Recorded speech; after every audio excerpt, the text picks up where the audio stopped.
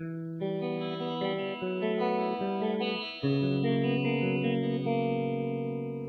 my name's Emily, and today we're going to be looking at liquids, and in particular their properties and what happens when they boil.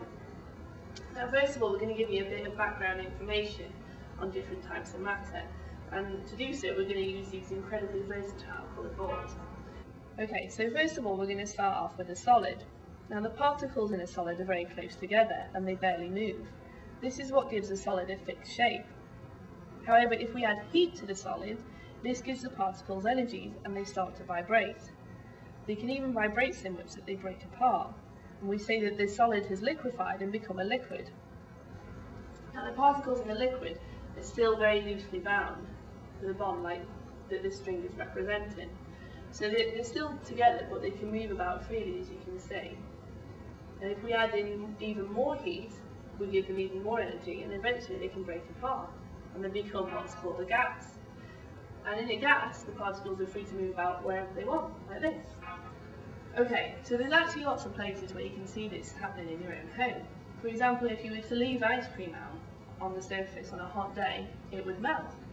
And if you were to boil water in the kettle, it would boil and turn into a gas. So it happens a lot in the, in the home. And the thing to remember is that different liquids have different boiling points. You probably already know the boiling point of water. It's 100 degrees Celsius or 212 degrees Fahrenheit. This is really hot, which is why you should be very, very careful if you're ever dealing with boiling water. But some of them, liquids, don't have as high a boiling point, and this means that you need less heat or less energy to break the bonds between the molecules. So for example, we have this cool little gadget here from ShinyShack.com, which contains ethanol. And ethanol has such a low boiling point that I can actually boil it in my hand. Watch.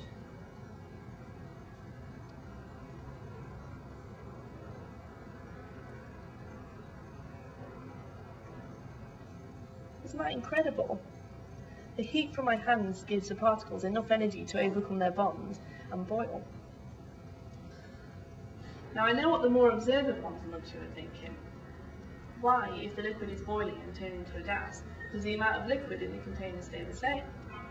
Well that's a very good question, and the answer is to do with the reverse of the process that we were talking about before.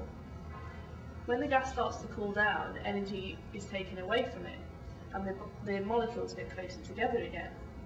The bonds between them can reform, and the gas condenses and turns back into a liquid. If a liquid does the same and turns back into a solid, we say that it solidifies.